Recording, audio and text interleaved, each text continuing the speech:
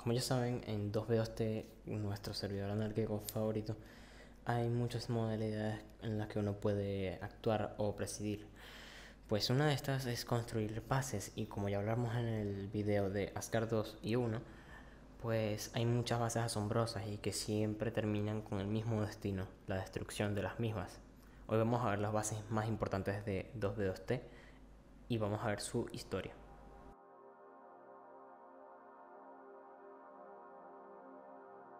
Primero para ver las bases más importantes de 2B2T tenemos que dividirlas en años y por lo cual la vamos a dividir desde las épocas antiguas, las épocas medianas de la media era, la época del hype y de 2019 en adelante, que sería la época del hype 2. En la época antigua había muy pocas bases súper importantes, la verdad, y dentro de estas bases siempre estaban nombradas 2K2K y la NFE o uh, negative 418. Primero vamos con 2K2K. 2K 2K era la base, bueno, fue la última base de la Face Punch Republic en 2B2T. Esta base era llamada así porque estaba en las coordenadas menos 2000, menos 2000 en el overworld y es uno de los monumentos más grandes en el spawn. Curiosamente, eh, la primera base o la primera base principal de los Face Punchers era Sion eh, y fue construida en, julio de 2011, pero por unas cosas en agosto de 2012 eh, fue destruida. Entonces Pago Citix empezó a mover a moverse para empezó a mover a toda la República a 2K2K, la cual iba a ser la última base en última base principal de, de los Fake Punchers.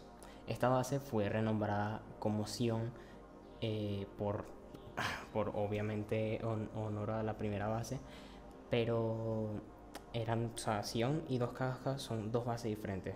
Lo que pasa es que como se nombró otra vez a 2K2K como Sion, el verdadero nombre, o sea, la primera, la verdadera Sion se perdió en el espacio. Ay, coño, me pegué con el dedo. me pegué en el dedo entonces Sion fue olvidada en el espacio y se perdió por, el, por las fases de la Tierra en el tiempo. 2K2K eh, fue construida en como 2012, febrero de 2012 y se completó en, en junio de 2012. Está, como ya dije, está en el overworld en 2000, 2000 negativo y su destrucción fue por parte de los Forchaners y como por ejemplo, o sea, fue por a lo largo de 2012 que fue liquidada. Es uno de los monumentos más cercanos del spawn y actualmente está bastante hecho mierda, la verdad. Eh, por ahora la nueva Facebook Republic que está haciendo Chislock eh, se, se, encuentra allí, tiene otras bases, pero se, la, la, base principal es ahí en 2K2K y no sé, no lo han limpiado mucho, simplemente le abrieron huecos dentro del lavacast enorme que había en dos cados a ella. No era gran cosa. Negative 400, 800 o la base NFE es una de las bases más llamativas de 2B2T en la época de 2011 y esta se caracteriza, se caracteriza por ser una de las bases con más griffs que han habido. O sea, con la cantidad de destrucción masiva que le han puesto a la base y las reconstrucciones que le ha hecho su, sus, sus miembros, o sea, sus integrantes de la base, ya, ya sea Exisitu u otras personas. O sea, es tan monumental que es un esfuerzo sobrehumano, la verdad. No entiendo cómo es que la han reparado tantas veces y sigue, eh, o sea, hasta ahorita está grifeada y hay un, un lavacast gigante encima de la base, pero hasta el día de hoy muchas de las, cosas bajo tierra o algunas de las estructuras que habían ahí siguen estando en pie.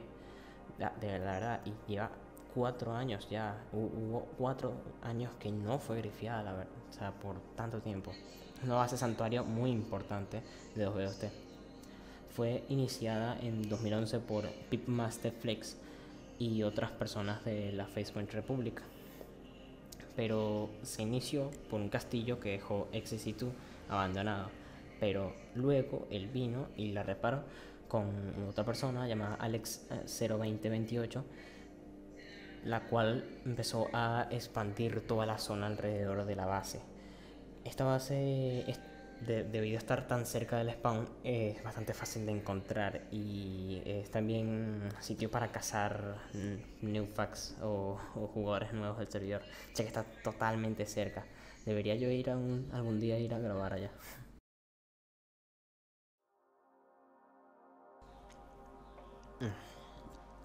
Pasando a la época de 2013 y 2015, o sea, entre 2013 y 2015, empezamos a ver pasos más importantes dentro de la historia del servidor y cada vez van teniendo más impacto en el mismo, la verdad.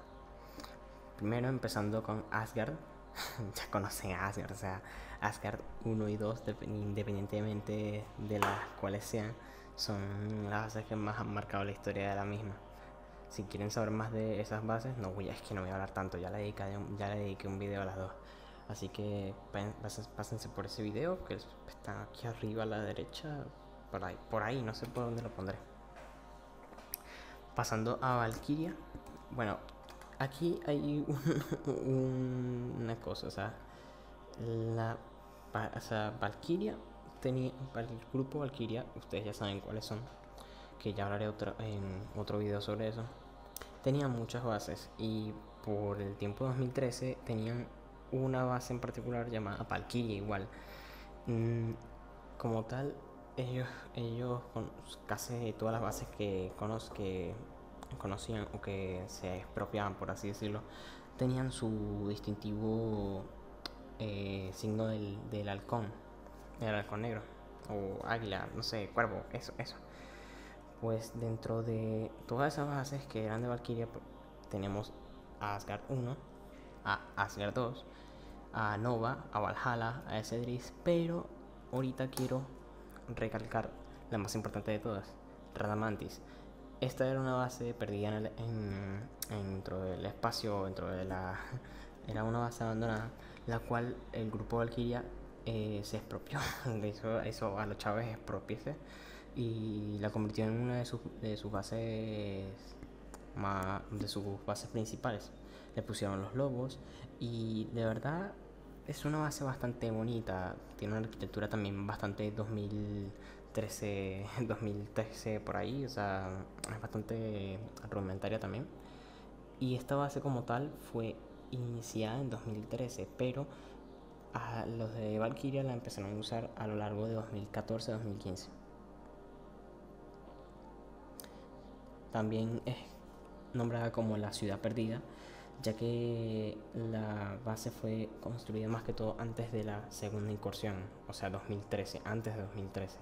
O sea, es una viejada de base, Se fue creada por Saint Eric, Lord Far, Big Mero, Biscuit y Peno 778 y otros. Personas que no se saben mucho de, de ellos, ya que no es que es un, por eso se le llama la ciudad perdida, la verdad. No ser abandonada.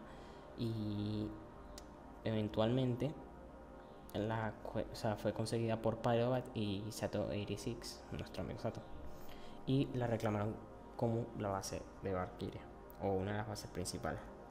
Ellos la, reconstruyeron porque en ese tiempo ya estaba también grifiada y le hicieron su, su. Si viste, era un águila, sabía que era un águila y la reconstruyeron y la convirtieron en su propia base, la verdad.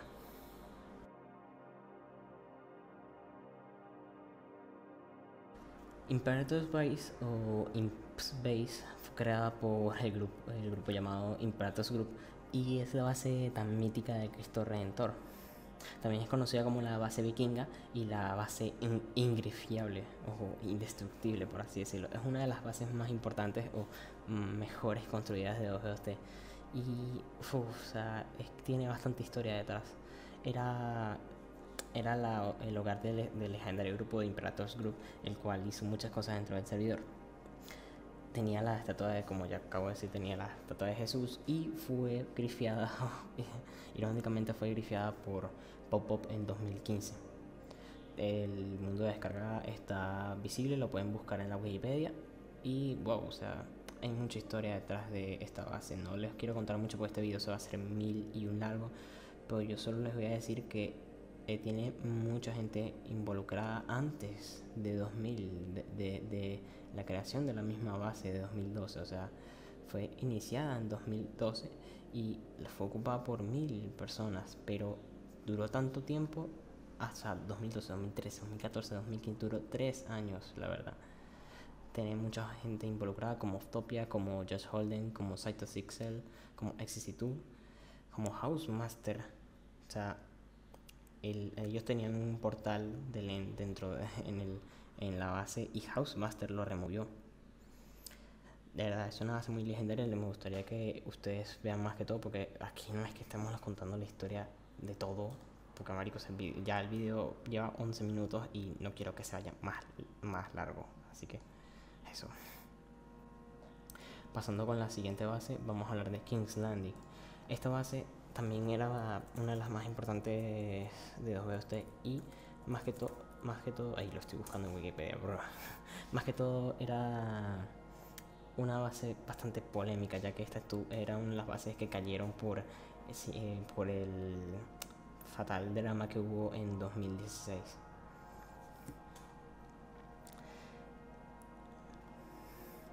King's Landing, también conocida como ID, IDMM, what the fuck, era una de las bases más grandes y eso sí lo sabía de verdad, es bastante grande la, base, tiene muchas construcciones, pero la, la, construcción principal era una, la construcción principal que tenía era una especie de eh, plataforma encima del agua con cristales magenta con formas cúbicas, o sea, esa es la construcción más bonita de la base. Fue fundada por Adrian Monger, por Drew Bookman y Brand Million en 2015, por ahí, junio de 2015. Lo que pasó fue que esta base cayó por los eventos de la tercera incursión. Después de, o sea, cayó no, inició por los eventos de la tercera incursión. Or, eh, Monger y Brand Million se decidieron por salirse del spawn y construyeron la base King's Landing. La el tema es, después de, de algunas decisiones entre ellos, el nombre lo votó por Brad Million. O sea, literal fue como una votación democrática. literalmente estaba a punto de llamarse, por, eh, de llamarse a una referencia a Game of Thrones. O sea, imagínate, no sé, el, el trono de, de cualquier... Yo no veo Game of Thrones, se lo digo. Yo no veo Game of Thrones. Eh, la base tenía bastante paz y era una base bastante tranquila, solo ellos estaban, pero ahí, eh, Tristan liquidó la base al público y durante el, tercer backdoor cayó por, hace, por un portal que hicieron en el medio del aire, en el después de grifear Space Valkyria, hicieron un portal que las llevó a King's Landing y la destruyeron. Fue bastante... la tiranía fue un asco. Fue un asco, fue, un maldito asco.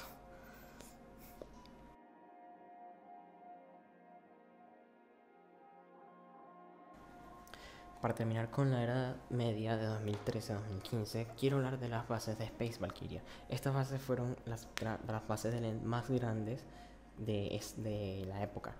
Y la Space Valkyria 1 fue creada por Jack the Ripper fue creada en como early 2015 y fue terminada en, a mediados de, de 2015 también. Fue creada a muchos bloques hacia afuera del end para que no fuera, no fuera encontrada nunca.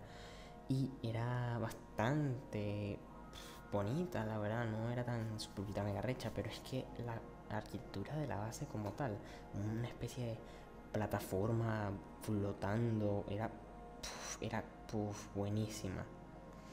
La destrucción de esta base, o sea, fue también un poquito caquita. Fue por medio de las de, de la tiranía y las que la grifiaron fueron Clyde y Jared 2013, los cuales fueron con el, el Boat Fly, o sea, con el, el ¿cómo se exploit para poder volar con botes. Fueron hasta allá y exploraron unos cuantos líderes y la destruyeron. O sea, también es que una anécdota bastante graciosa es que eh, FeedMC la encontró, o sea, encontró en su camino para poder hacerla, para poder hacer la DUT o la DFC, ¿cómo se llama? La sí, la DFC, me, me equivoqué. En 2015 la encontró y, o sea, la visitó tal, no le hizo nada a la base y se fue. O sea, también otro griff que le hicieron fue la For Rage o el, Cuarto Imperio le hizo un griff y la destruyó más de lo que estaba, ¿verdad? Es una tristeza, pero bueno.